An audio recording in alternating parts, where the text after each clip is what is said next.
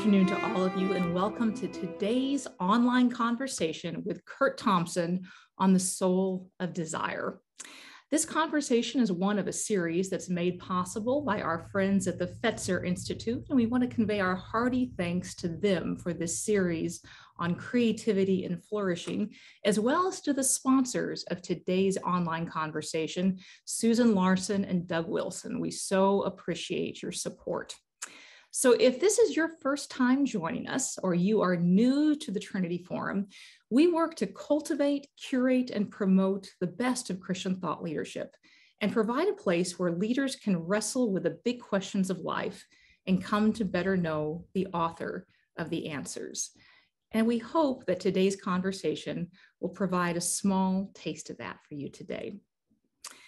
The big questions of the humanities almost all relate to the purpose and the content of the good life, what it is and how it's realized.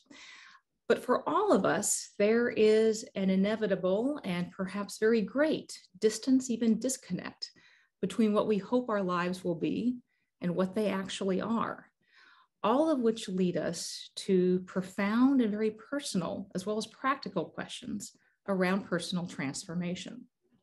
So, over the next hour, we'll dive into some of those questions with a guest who has spent his vocation seeking to help others yearning for transformation. He's argued that at our core, we are created beings longing to be deeply known, a desire that can propel great works of creativity and deep connection, but is often distorted by trauma, sin, and shame. And he illuminates the ways in which a confessional community can reshape our imaginations and reveal new possibilities for better knowing and loving God, ourselves, and others. It's a redemptive, hopeful, even beautiful vision. And there are few that can present it and wrestle with it with the expertise, empathy, wisdom, or wry humor as our guest today, Curt Thompson. Curt is a practicing psychiatrist and neuroscientist, as well as the founder of Being Known LLC, which helps people explore the connection between interpersonal neurobiology and Christian spirituality. He is, I am quite proud to say, a senior fellow of the Trinity Forum, as well as a sought after speaker and consultant, the creator of the Being Known podcast, and the author of the excellent books Anatomy of the Soul, The Soul of Shame, and of course, his most recent just published work, The Soul of Desire Discovering the Neuroscience of Longing, Beauty, and Community, which we've invited him here today to discuss. Curt, welcome. Cherie, always a pleasure. Thank you so much for having me. It's uh, something I've been looking forward to for many weeks now to have the chance to have this conversation. Well, absolutely. We've been looking forward to it as well. So I have to ask uh, this is a, a rather unusual approach. At the beginning of your book, you tell the story of seeing a patient who came to you for anxiety and depression. And after listening to him, you offered him a fairly surprising prescription. Instead of handing out Xanax, Zoloft, whatever, you told him to go look at Rembrandt's The Prodigal Son. I'd like to ask you why. Uh, what can beauty or art do that Prozac can't? Well, I mean, first of all, he wasn't doing anything else I was asking him to do. So, I mean, in many respects, like when all else, yeah, when all else fails, I I think uh, you know one of the things that we do is uh, we as we as we will talk about that we are uh, quick to whenever we run into distress, we are quick not so much to imagine uh, or to be curious about this with a posture of curiosity and observation, but we're really much more interested in ass- assessing whatever's happening as a problem that we need to solve and to solve it as quickly as possible. And this was his experience. He had this set of symptoms that were, of course, for him, they just thought he thought that, that the problem uh, had to do with the symptoms that he was bearing at the time. But the problem is my depression and my anxiety, as opposed to what's underneath that.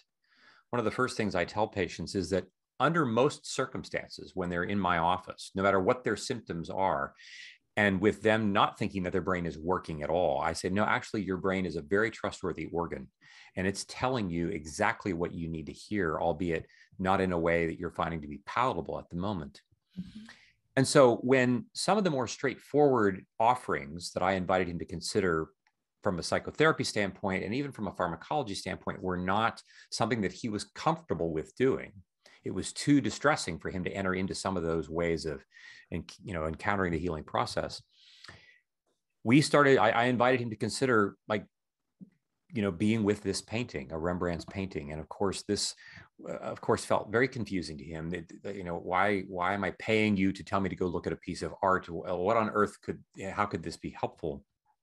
What was so interesting is that uh, one of the things that we know and that i talk about in the book is this notion of how being present with beauty uh, first of all, it slows us down long enough, right? I don't mean just like look at it on, you know, on the internet for five minutes. I mean, I want you to be present with this and I want you to be curious about this. And the whole notion of slowing oneself down and then being open to seeing things, being curious about things that you heretofore haven't been because I've been too busy trying to cope with my anxiety in the ways that I've unsuccessfully been trying to cope. And as we all know, when we don't do things well to solve our problems, our next gear that we try to find is just to double down on the way that we're doing them that has been so ineffective. And so I think it for this patient, it began, of course, it felt confusing, odd. This it, it didn't there was there was no framework within which to put this. How would I, I end up going to see a psychiatrist? How do I end up going to invited to go to see a piece of artwork? This notion almost reminds me of the prophet Elisha and Naaman, the general, from the Assyrian army that comes with his leprosy. And the prophet says, Go wash in the Jordan. There's this sense of go and have an experience with something that you're going to have an encounter with something that is not a quick, easily, straightforward, linear solution to your problem.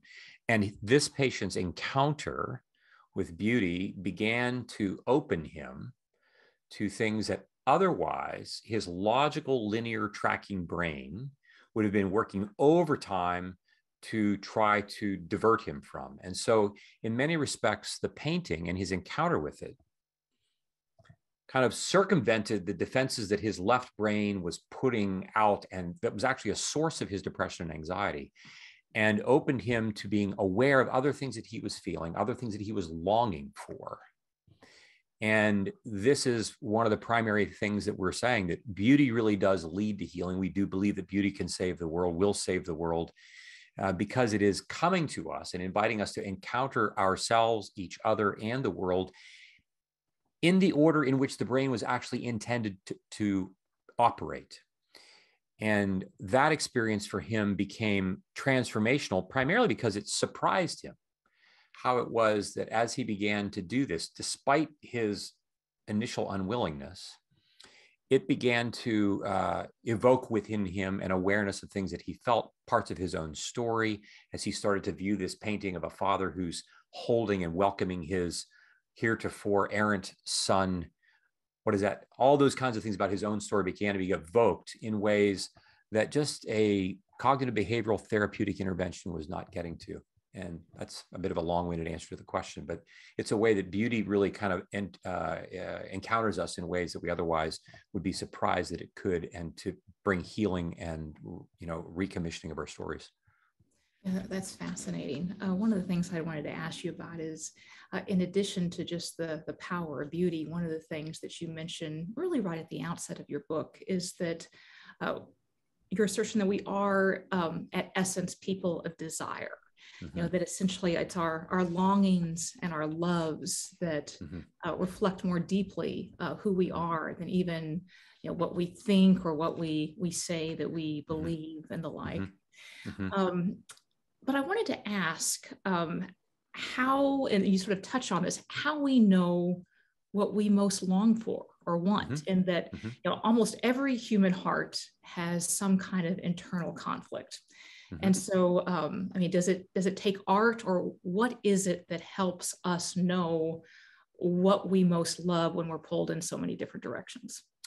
Right. I, I think you know this is where uh, I, have said to folks in the last six months i have become in, uh, a week does not go by in which i don't feel like i'm discovering yet one more way that jesus words offer application his words in which he said unless you change and become like little children you cannot enter the kingdom of heaven.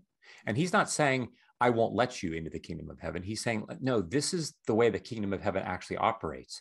And if you're not going to pay attention to the way that children actually operate in the world and live in that way, it will be like you're you're not going to like heaven.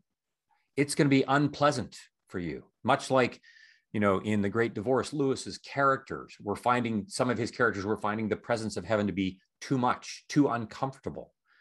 And when we look at children, one of the first things that we see, they are uh, they come into the world these little living, breathing, you know, nuclear energy plants of desire right? They, they have these appetites. They long they want stuff. We are a wanting people. And it first starts with these physical appetites this sense of needing to be like nurtured and fed and so forth and so on. And then they discover objects right? That's it's the rattle in my crib. It's this over there. It's this over there. And but as their brain develops as our brains develop we discover that relationally, what I'm mostly longing for, as it turns out, we go into more detail in the book in this, is that ultimately we are really longing for these four things that are represented by these four words that each begin with the letter S. We want to be seen, we want to be soothed, we want to be safe, and we want to be secure. We notice this from attachment research. And these four words were coined by my friend Dan Siegel and his colleague Tina Payne Bryson in one of their works. Dan and I talk about the last word secure differently, but the first three are the same the sense that we come into the world like we walk into the room. We have a chat room here, right? We have a chat room, even on a Zoom call. We're chatting because we want somebody to see us. Mm-hmm.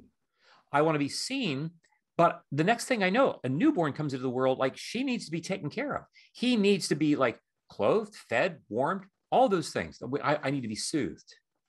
And the next thing you know, I don't just need to be soothed in terms of my appetites or my coldness or my hunger. I need to be soothed in the boardroom. I need to be soothed in my marriage. I need to be soothed when I'm in school. There, there's no place in which at some point we're not going to run into some kind of painful experience with which the response I really need is to be soothed. But first, that I need to be seen in order to be soothed.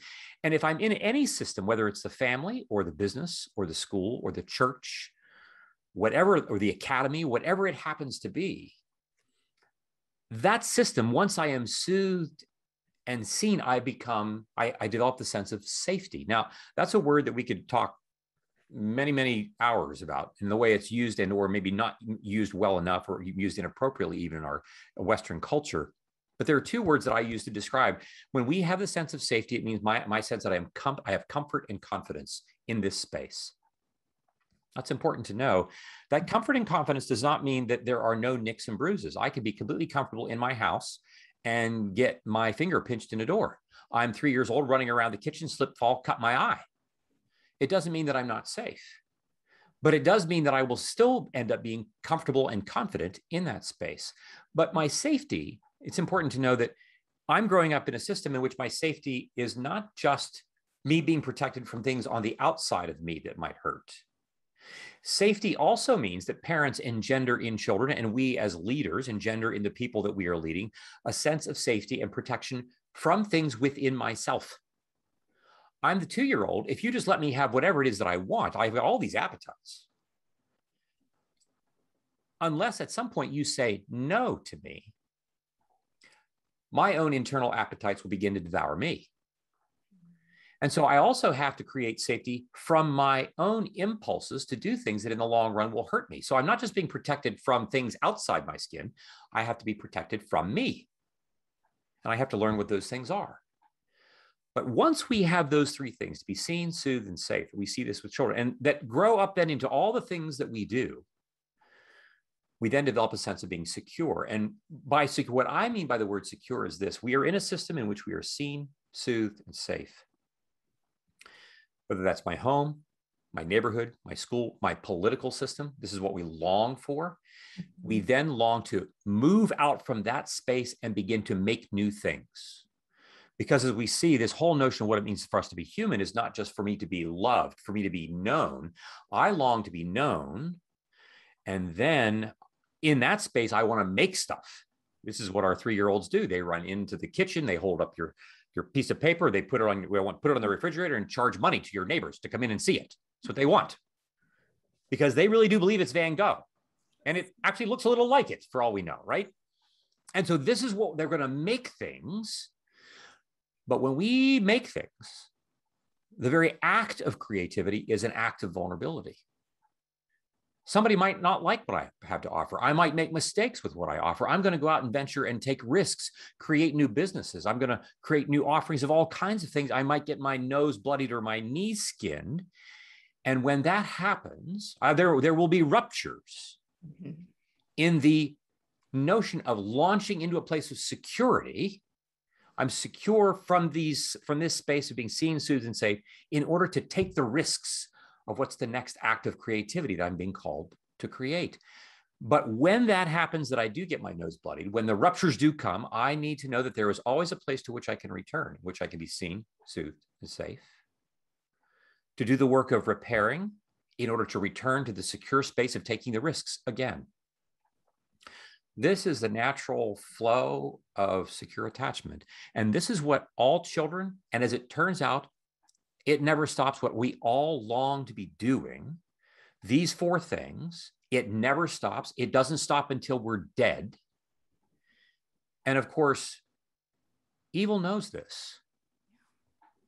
And it will want to take advantage of our desire. We like to say, right? Evil doesn't exist really kind of on its own. It has to, it parasitically latches on to that which is beautiful and good in the world with his intention to ruin and devour it.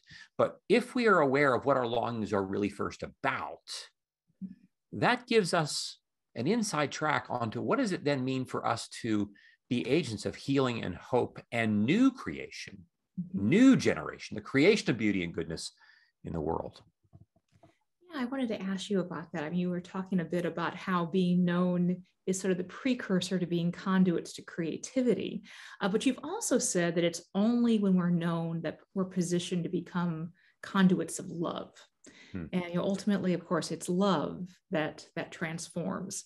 And so I'd love to hear you talk a little bit more about how being known enables us to be conduits of love.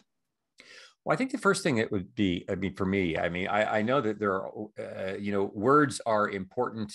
Um, uh, they're not everything, but they're important. And so even when we talk about a thing like love, mm-hmm. uh, not to, you know, I'll, I'll, leave that to Jamie Smith to talk about this, right? But I'm not, I'm not a philosopher here, but this notion that we can talk about love, but in some respect, and we need to be able to talk about it as an abstraction, right? Like this idea of love. But in many respects, as far as our brain is concerned, my brain doesn't really engage with this abstract thing called love. My brain engages with loving acts, loving behavior. Mm-hmm. And so, love is for me to be seen, soothed, safe, and secure, that I feel it literally in my chest, in my face. And I am turned loose then to create material things, whether it's the next new Yeti mug or it's the next new algorithm of math that is so elegant that I can't even come up with it, right? All these things of beauty but this notion that to be loved gets me, you know, for me, it comes back to this these verses in 1 Corinthians 8, where we read that there are those who think they know who do not know as they ought. But the person who loves God is known by God. This notion that I know love, I know when I feel it in my chest, mm-hmm. not just because someone with their sight line and their tone of voice and their body language make me feel good about myself, but I also know it when there is a part of me that is on display that I'm not very proud of. And you stay in the room. When you're mad at me and you say that you're mad at me, but you do so in a way that doesn't shame me or show contempt for me. When you are honest with me about your disappointment or your sadness with me, but do so in a way that the very act of putting something on the table that is unpleasant or painful, the very act and the way that you do it is your attempt to even move closer to me, even as we talk about hard things. That is a viscerally felt, bottom to top, right to left brain activity in which we are wired to know that that's what it means to be loved. For me to love God is for me to respond to a God by whom I've had that felt sense of being seen, not just with his compassion, but with his compassion in the face of the parts of me that I don't want him to see. And the thing, the reason, reason that this is important is because our trauma and our shame, all that stuff. If I don't take care of that, I'm necessarily, literally going to have to be burning neurobiological energy to contain it. And that is energy that I then will not have available to create those artifacts of beauty and goodness in the world that God has prepared for me and you together, along with the presence of the Holy Spirit from before the foundation of the world to create. But I can't do that if the energy is not available because I'm burning it, trying to contain all the parts of me that I don't want you to see as we talk about confessional communities, we talk, this becomes the space in which I am loved. And as I am unloved, and as, as I am loved in this way, because I'm known deeply, I'm seen, safe, secure. And that includes the moments when you and I are going to fight. You and I are going to have our own ruptures and we're going to repair those, where in which our relationship becomes even more resiliently and deeply connected comfortable and confident with each other, even in the face of hard moments, I am that much more emboldened to take the next risk of doing the next hard thing in our current political climate, in our current climate climate, in our current pandemic climate, mm-hmm. in our current isolation climate, in all the places where the world feels like it's tottering, most on its edge, those become the places that feel the most frightening, the most painful, the most shame and trauma ridden. It is in those places where we are saying that's where God is looking for beauty to emerge in the very places that we would least expect it. Mm-hmm. I want to get to confessional communities in a moment, but uh, you mentioned the pandemic climate, and you've also mm-hmm. talked about shame as being viral in nature, which hmm. seems um, both apt and a, a, bit of a double meaning there, in that it's um, it, it, spreads quickly. It's all it seems to be our cultural go-to weapon. Mm. And we have hmm. cancel culture, call out culture, Twitter mobs, and the like. Mm. Uh, right now, we're dealing with our current pandemic with a vaccine and masks. Mm. Uh, given how quickly shame uh, seems to spread. Um, mm. You know, it is both potent and um, contagious and um, wildly transmissible. Mm-hmm. Is there something that can be done to whether it's um, increase our protection or build our antibodies or uh, our immunity uh, against this mm-hmm. on a societal level, or does this necessarily have to be um, individually accretive, just one person by one person? Well, I don't know that it's an either or. I don't know that it's uh, we're going to do this from a top down uh, perspective or from a bottom up perspective. I don't know that it's an either or phenomenon. I think you know quantum mechanics would tell us that like it's not that we don't live in a binary world. We live in a world in which lots of things are happening at one time.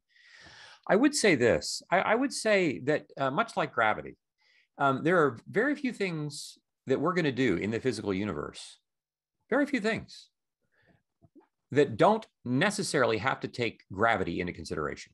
You want to build an airplane, you want to build a house, you want to go for a walk, you want to put your coffee mug on a table that's not quite level. Like there's really nothing we do with our bodies that don't have to take gravity into consideration, whether we're consciously thinking about it or not.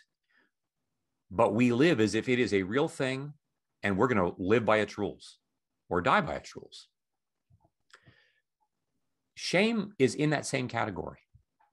It's in the category of gravity in the sense that this is how relationships operate. It's also true, I mean, I would say that we could, you know, kind of clinically and at a distance talk about and identify shame as a thing that's happening. But I would also suggest that we who follow Jesus would suggest we, we don't believe we live in a neutral universe. We believe that we live in a universe in which there is a thing called evil, no matter how much we pack it, whatever the right way is to package and wrap that, that does have an intention to devour us.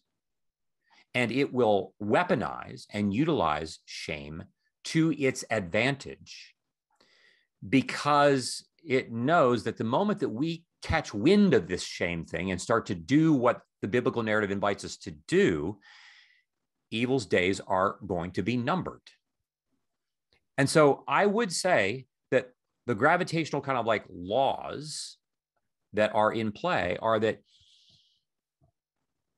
we most powerfully undo shame and dismantle it, yes, embodied relationships one at a time.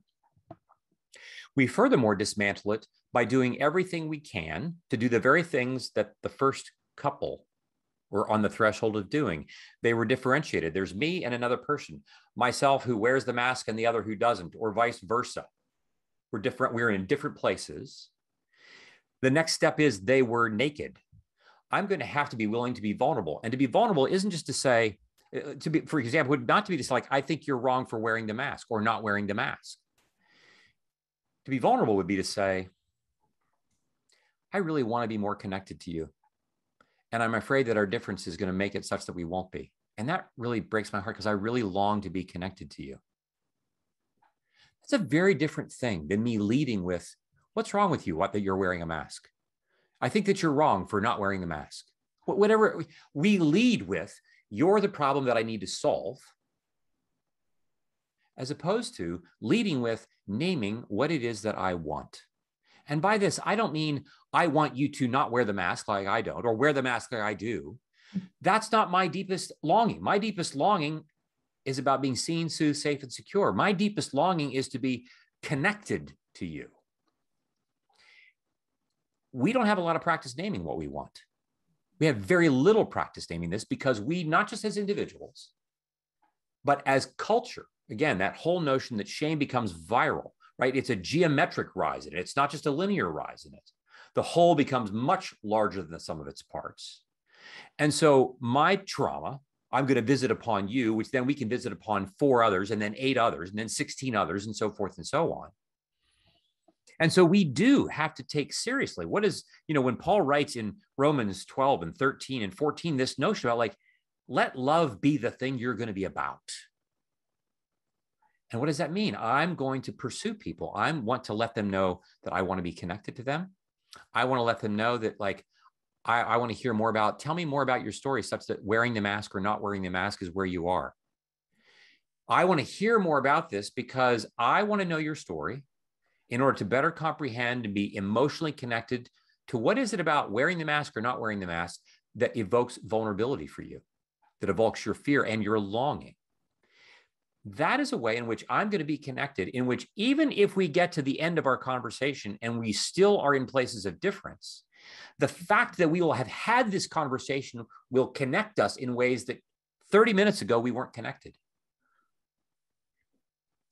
That's just one example of mm-hmm. small ways in which we do have to be committed to recognizing that if it is true that God's mission in the world of new creation is to, with every new day, with all the new mercies that are available, He longs for us to create beauty with every step of the way that we're taking this day.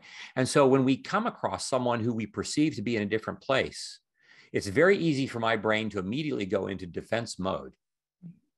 It takes work, intentional work, for me to practice being curious about how can I create beauty with this person with whom I perceive there to be great difference? How can I do this? I mean, this is what God does with us, right? He's creating beauty with us with whom he has great difference. And this is what we are being called to do.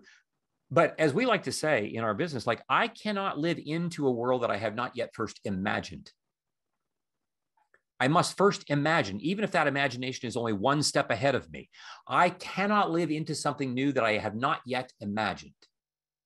And the other thing is that I can't give anybody something that I don't have. And if I want new creation to be something that takes place between me and someone else, especially someone else with whom I might have difference, I can't do that with them for them if I am also not having someone else pour into me the opportunity for me to be seen, soothed, safe, secure, even with somebody else who might themselves know that we have great difference.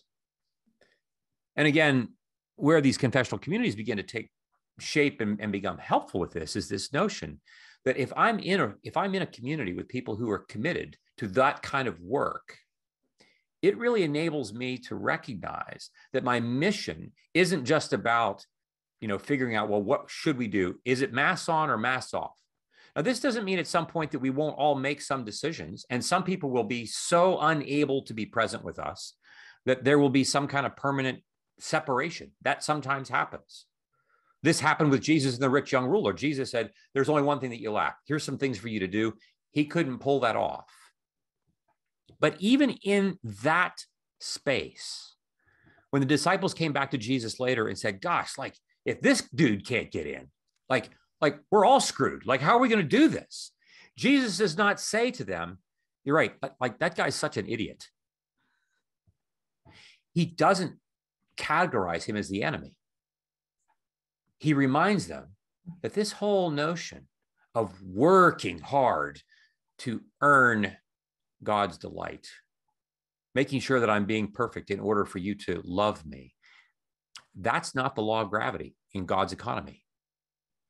And so, this practice of our being willing to look for opportunities to make connection, not to identify these experiences first as a source of disconnection, mm-hmm. requires practiced imaginative expansion that we're only going to get if we have other people in our lives who are also seeing parts of us that would be easy for me to like imagine like are you really going to want to be in the room with me if you know this part about my life but when they do and we live into that we can then begin to practice living into this with other people with whom we also find great difference. We're going to turn to questions from our viewers in just a second. But before we do, uh, as you've uh, talked, I think probably a lot of people are uh, seeing the beauty of the kind of confessional community that you've described. Um, but there's also there's different tensions. Um, I think all of us long to be in that kind of community.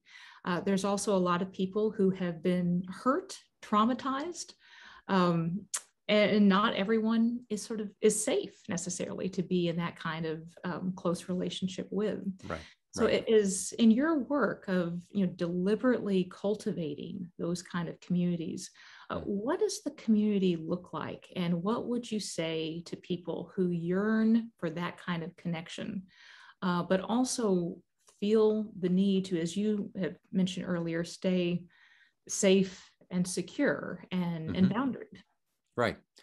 So um, we're kind of asking, uh, how can we get to heaven as soon as we can? That's kind of like what, but really kind of what we're asking. If you know, because, I'd be most interested. Right, right. Well, if I knew, like, I'd be making a lot more money off of it than I'm getting that I'm making right now. I mean, I can I can tell you that. So I, I think we have a model of this when we when we read the Gospels. Uh, you know, we see first of all that Jesus was unapologetic about the fact that the kingdom of heaven uh, is not easy right? He said the, garrow, the, the narrow, the gate is narrow that we enter into. Like this is hard work. He tells, he offers a parable to hundreds of people, but there's only a handful of people who were really, really serious enough to come after him to say, what does this really mean? I think one of the first things for us to recognize is that we live in a culture in which we long for these four S's. We long to be in a world of beauty and goodness but I think we're really quite naive to the cost that is required for us to actually live in that world. It's also equally true that, again, like gravity, people have had lots of experiences with gravity in which they've gotten their knee skins and their nose is bloody, right? And then things have broken, things have fallen off their table and they've broken. And it's taken place in a context where people have said, no, no, no, I'll take care of your very, very precious mug and they don't and it falls off the table and it breaks because gravity's in play and the hard thing is Cherie, is that we could decide well then i'm just not going to like like give anybody my mug anymore you could do that but it doesn't mean that the law of gravity doesn't apply still if we want joy if we want delight if we want beauty and goodness then also like in lewis's work the silver chair when jill pole wants to like have her thirst satiated, she's going to have to get past the lion. And she's like, well, I'm just going to go find another stream to do this in. And he says, there is no other stream. There is no other way for us to do this. To which we would say, this is what Jesus comes, and in his crucifixion, God is saying to us, I get it. I get it. and I'm going to take responsibility for all that has happened. It's like, I get it. You can't do this. Like, I'm going to take responsibility for what I created. And now I'm going to ask you to follow me into that. And so Jesus knows exactly what it's like to trust people who throw you under the bus. Jesus knows what it's like to like to be in your own family who believe that you've lost your mind. Jesus knows what it's like for you to offer words of beauty and goodness and to have people spit on you because of it. But he does not say, ah, I think we're just going to do a different way. And so we would say to those who have been traumatized in the context of intimate relationships, we would say, we really get it. And that those intimate relationships, they're not just in marriage or sex or just in the family, they're in the church, they're in our political spectrum, they're in all kinds of places in which we thought we were entering into some vocational calling. We were going to be a teacher. We were going to be a lawyer. We were going to be an engineer. We were going to be all kinds of things. We were going to be a farmer. And the world has thrown me under the bus. I've offered you my precious mug, and gravity has tilted and it shattered. I'm like, I'm not giving anybody my cup anymore. And the hard part is gravity doesn't change it still places the demand that if we are going to flourish in the world, those four S's must be satisfied. And so, consequently, God being unapologetic for the way he's created the world gives us Jesus, who lives with us in the world that we have to live in, and says, okay, we're going to do it like this. And like this means that, first of all, we acknowledge that these that, that life is difficult. Confessional community is hard to do. In this world you will have tribulation. It is also something that we don't necessarily find people often ask where can i find one of these groups you can imagine jesus asking god the father so when i get there and i'm you know old enough to like do this where will i find the group that you've gotten ready for me and you see like the answer is like like, dude, you're gonna have to go make it. You're gonna have to go find. You're gonna have to like find the people and ask them to join you. And that's a hard task. We know that Jesus asked lots of people who said no. We know that perhaps God asked lots of people before he finally got Abraham to say yes. And who knows how long he was talking to Abraham before Abraham finally left, right? The land of the Chaldeans and came all the way to Canaan. Like he like that's a slow moving train. And I can appreciate that because, like, I'm a slow moving train. And the reason I want to find the group is because I don't want to have to do the work of making the group. Of take, I want everybody to like just welcome me in and like with all my stuff, and like there's not going to be any work to do. And Jesus says, No, this is really hard. And those who are going to look for as as as we as we read about also in the great divorce at the end of the day, we all find what we're looking for. We find what we're really, really seeking. And if we're seeking this kind of life, this kind of flourishing, this way of living into new creation where our imaginations are expanded, even in the face of trauma, even in the, especially in the face of trauma and shame, then the rec- you know, the suggestion that I'm giving to people now who don't have the opportunity, for instance, to be in a constructed community, community that we make in our practice, we would say like, look, I want you to find one or two people that you trust, one or two people. And, you know, we talk about a certain uh, pattern and way of doing this in the last part of the book. I want you to find one or two people that you trust, and I want you to th- talk with them about telling them your story. You're going to do vice versa, and you're going to follow through with these recommendations. You're going to look at these questions that we're offering to you in, in the book or other places. And you need to know that this is going to take time because, as we like to say, those things that are most beautiful and most durable in the world take a very, very long time to create. But I'm convinced that if we are willing to do this work, recognizing that the work is slow, but that it is faithful as is God, that beauty and goodness begin to emerge in the way that beauty emerges in a redwood forest and that so much of the beauty that we're creating even now is not just going to be beauty for us, it's going to be beauty for the generation after us and the generation after that. That can't happen if we're not willing to do the hard work right here and now. But I want to say that at a time when our world feels so fractured, that there is no better time, there is no greater opportunity for us to take the risk of imagining how confessional communities can create outposts of beauty and goodness in the world. Mm-hmm. Thanks, Curt. We have so many different questions lined up mm. from uh, our viewers. An interesting question from Stephanie Hewitt, who uh, says the invitation to encounter beauty is one thing, but how do you allow for or do the work of assimilating it? It seems it must be metabolized for deep impact. So I, uh, I, I appreciate this. Um, you know, my uh, in, in the book I write about my encounter with uh, with a, with the work from Mark Rothko, and for those of our listeners who know about Rothko's work, he's well known in the American art scene as this person who kind of introduced this notion of color as a medium in and of itself. And I'd kind of heard of him, known, but didn't really know about his work. Like, yeah, yeah, these things got three bands of color on them. That's what they are. Like, I don't get it. Like, like, why would I go to the museum just like, like, like I can look at color on my wall in my kitchen. Like, I don't, I don't need to like go to the museum to see this. But I didn't go by myself. I went because of the suggestion of a friend of mine who is an artist that does abstract work. And she said, I really want you to go. And, and she told me, I want you to sit for at least 30 minutes. And I want you not to worry about the fact that you don't know what's going on at first. And so here again, we have an example of how my imagination is going to have a hard time expanding if I don't have help from the outside. But I had help from the outside.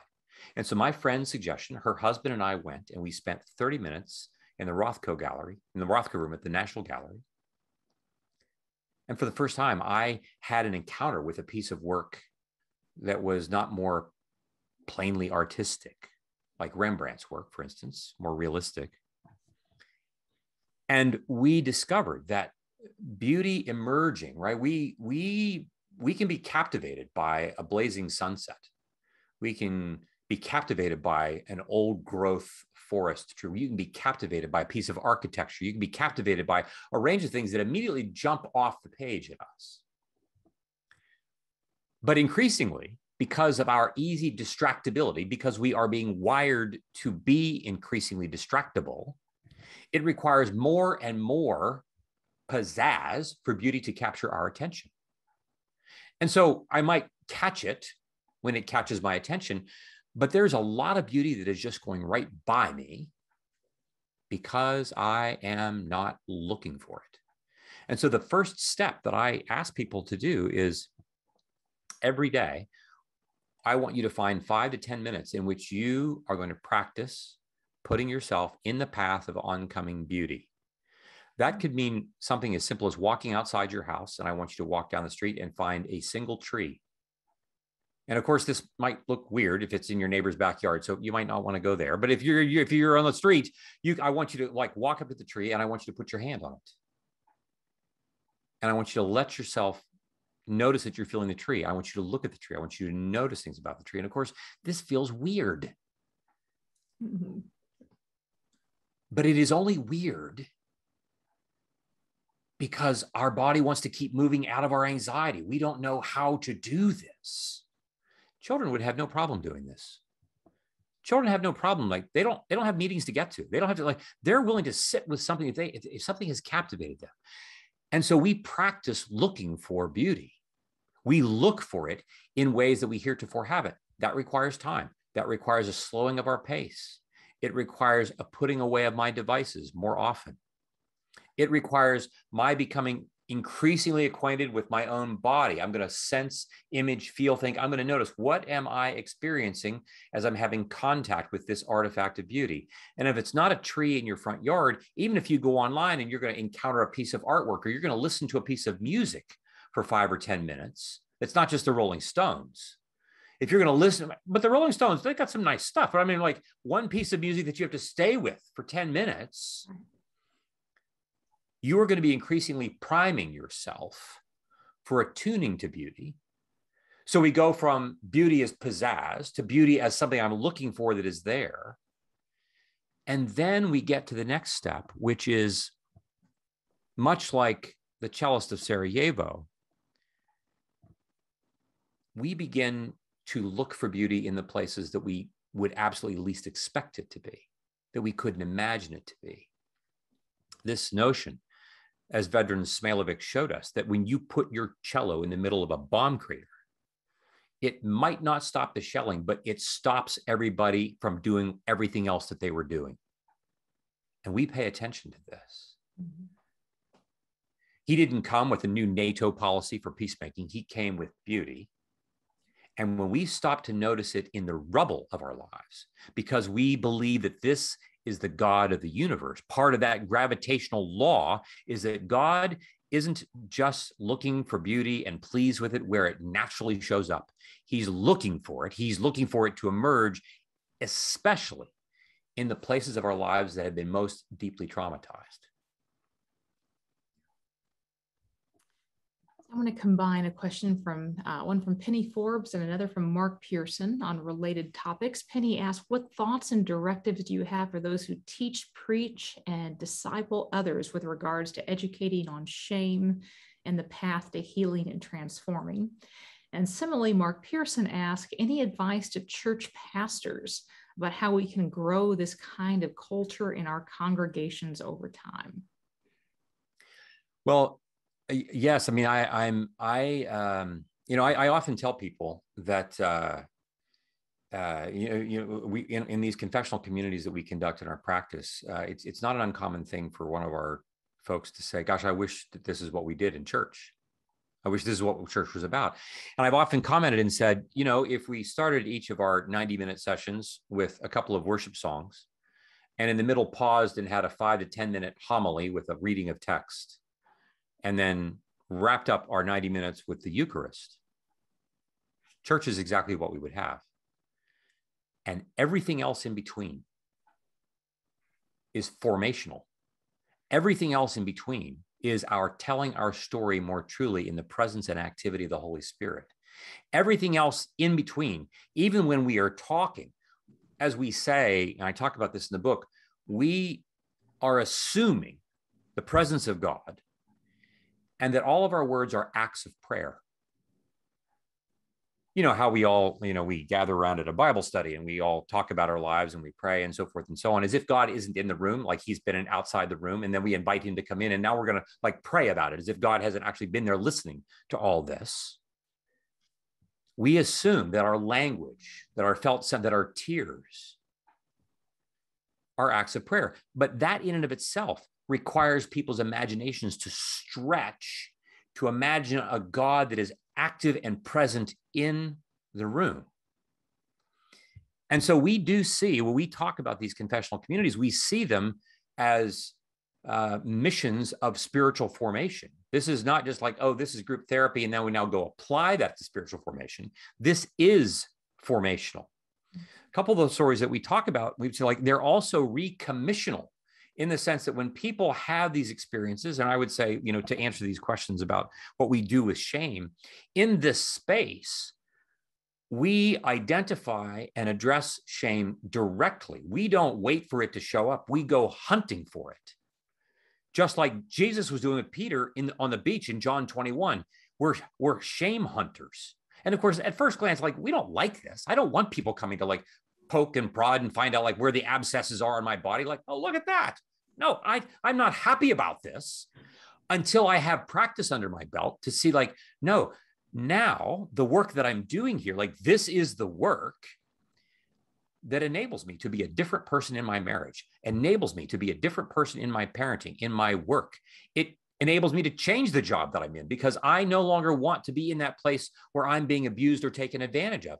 I'm going to change churches because I'm in a space where people really aren't able to do this kind of work. And so when I when we talk about to pastors, we would say, first of all, we would say that this kind of formational work, in many respects, you know, there are lots of different mechanical things that we employ really to bring people into this kind of a space. And I'm not saying that this is like the best or the only or the most important way for people to be spiritually formed. I'm not making that claim at all. I believe that we have found a way that is effective and helpful. It's a way. I also know that we give these patients, we give our folks assignments of putting themselves in the path of oncoming beauty on a regular basis. We give them the active assignment when they have an experience in this group, for instance, in which they've been seen, soothed, safe, secure. It's not just for that moment. We say, like, we're going to take three minutes right here and now, and we're going to like replay this in our minds. And for the next seven days before you come back again next week, I want you to take five to 10 minutes every day. And I want you to replay this. I want you to journal this. I want you to, like, as we like to say in the business, we ingest, we digest, and we metabolize. You ingest something in a few seconds, you digest something in minutes to hours, you metabolize things for the rest of your life. And we must be in that kind of work from a spiritual formational perspective in order for us then to go into our worlds of politics, of literature, of philosophy, of lawyering, of parenting, of teaching, of all the of, of farming, of all the things that we're doing mm-hmm. to become these kinds of agents where we would say, evil doesn't want you to know this. Evil doesn't want you to know that this kind of work changes the way you farm, that this kind of work changes the way you pastor. Evil doesn't want you to know that if you were going to be committed in your church to say, like, we're going to, like the next quarter, we're going to preach a sermon series on beauty. And every single day, we're going to have a different icon that before the church service starts, we're going to invite people to come 15 minutes early. And we want you to sit with this painting. We want you to sit with this piece of music that is going to just kind of loop for a little while. We want to see, we want you to prepare, we want you to look, listen, sense, image, feel for the image and wake and movement of God to show up. I tell people if we were to ask you, unless you actually own a yellow car, how many yellow cars have you seen in the last week? Most people would think that's a strange question. I have no idea. But if I were to say to you, I want you to keep track of how many yellow cars you see in the next week, two things will happen. Number one, you will know exactly how many yellow cars you've seen and you can report that to me. You'll be you'll get a gold star. More importantly, you will be tracking how many yellow cars you see for the next month. And you will track them not because your assignment has finished after one week. You will track them because you are practicing priming yourself to look for it. And this is what we begin to do with beauty. This is what we begin to do when we look for beauty in other people with whom we have great difference, who we would call our enemies. When Jesus talks about praying for your enemy, it's not just like, well, I'm going to pray for those Republicans. I'm going to pray for those Democrats because, like, they're stupid. No, we are really longing to be seen, soothed, safe, secure by all these. I want to connect with them. To pray for them is to pray for me because we're all longing for the same thing. The same thing applies in our churches because it's not just the Democrats and the Republicans, right? It's the person who sits in the pew across from me that I'm having trouble with. It might be the person that I'm married and having married to and having sex with. I mean, the, the, all these things are. I'm just now kind of rambling. I'll stop.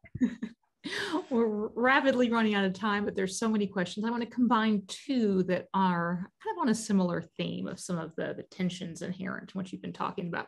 Cindy White says that she works in higher education. She actually teaches your books and mentors mm-hmm. students and leaders, providing safe spaces for people to be vulnerable. However, she says with so many Title IX issues, she's obligated to report even circumstances that happened in childhood. How mm-hmm. does she navigate the tension when she wants to encourage vulnerability?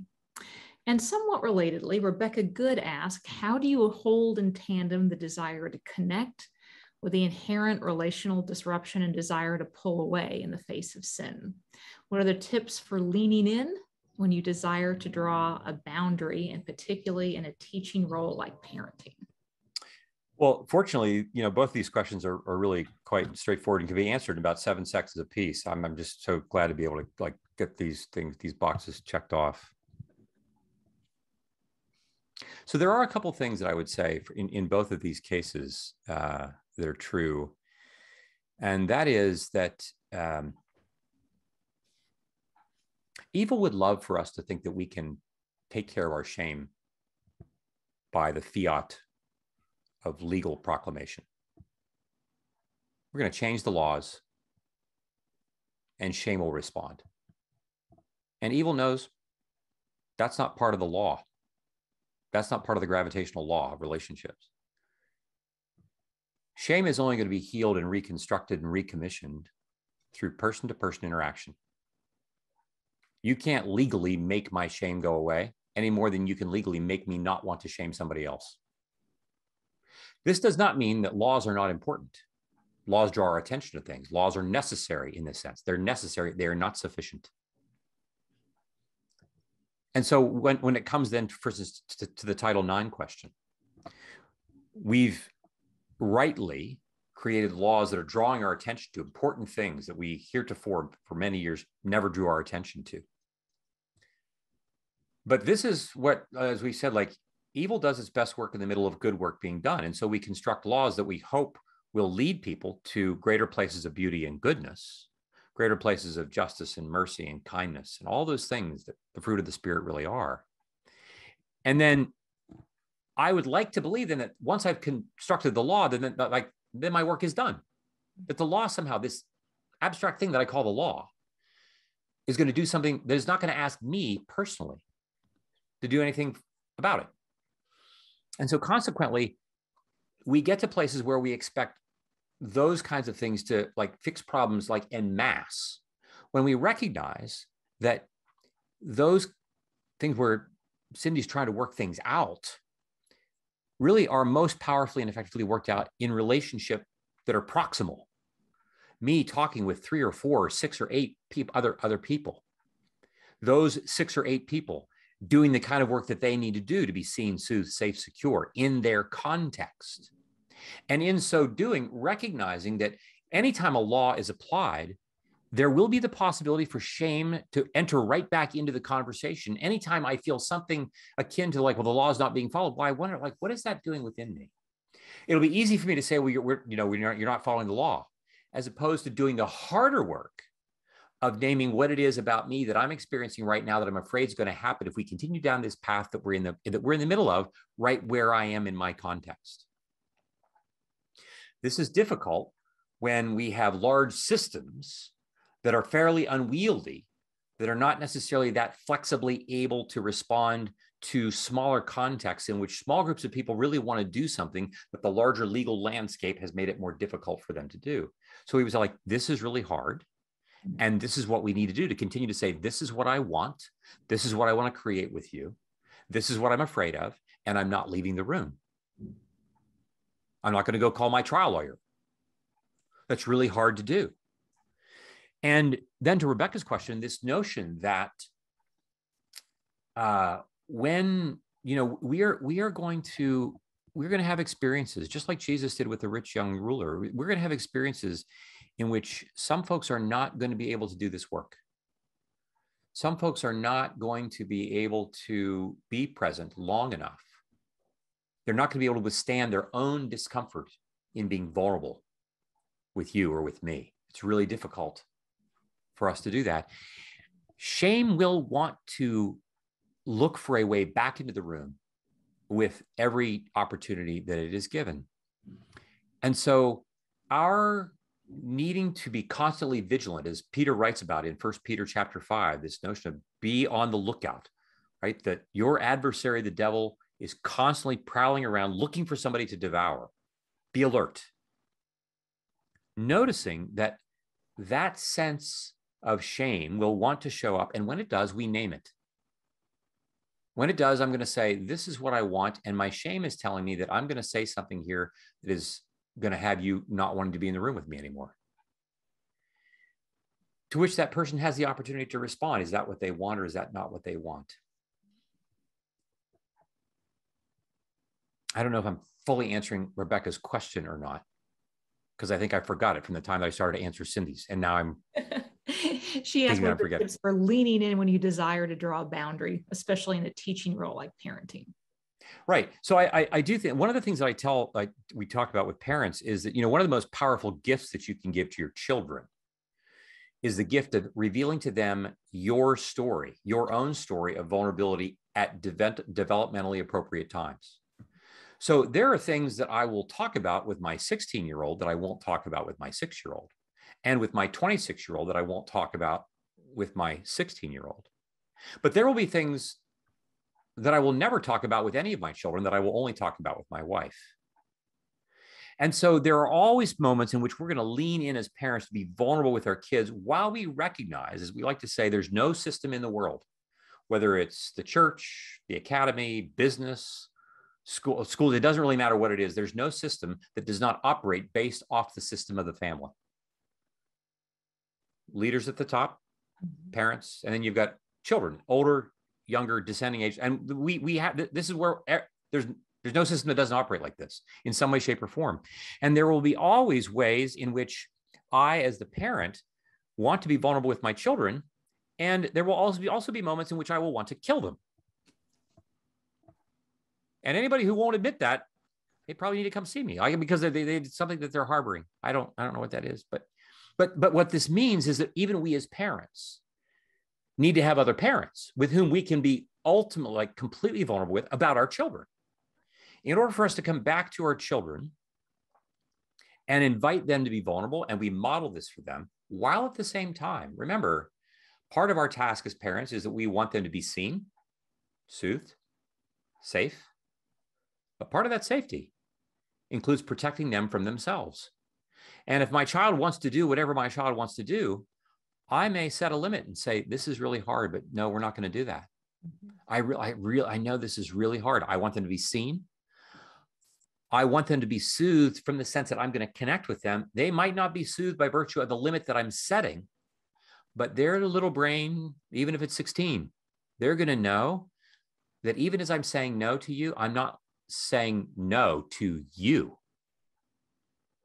I'm saying yes to you in our relationship, and that I'm not leaving the room while we say no to this particular choice. And even as I do, I might say to them, This is just so you know, like I didn't, you didn't come with a manual for your 17th year of life. I've been looking for it. Like it, some of us have got lost in the last move three years ago. And this is hard for me. This is hard for me. I, I, I don't feel like I'm the best, you know, I, I may not be the best thing. And in that sense, we are also letting them know that you're staying in the room, even while what you're doing is not easy to do. And it lets them know I can become an adult eventually in which we can do hard things and still flourish. And with that, Curt, I want to turn this back over to you for the last word. You know, Cherie, I uh, as I as I think about our viewers, listeners who are part of this, uh, I I would want every single person uh, to, as we as we wrap up our time to imagine this notion that the beauty that God longs to create with us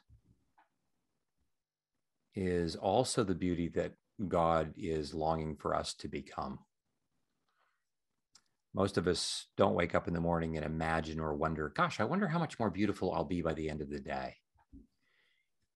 And I want to invite us to consider that that is exactly what the Holy Trinity is wondering.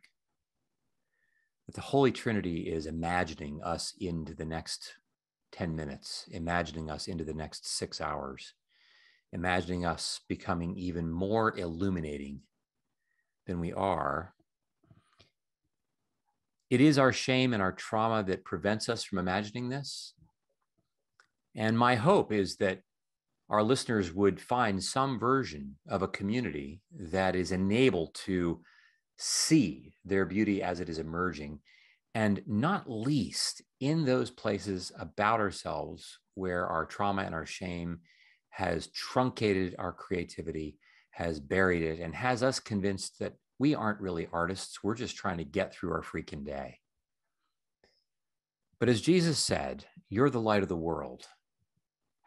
You are utterly illuminating.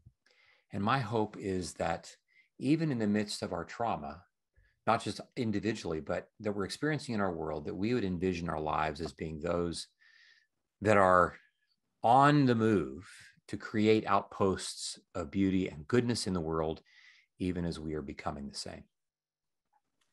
Curt, thanks so much. Always a joy to get to talk with you. Indeed. Thank you so much for having me. Thank you for joining us. Have a great weekend.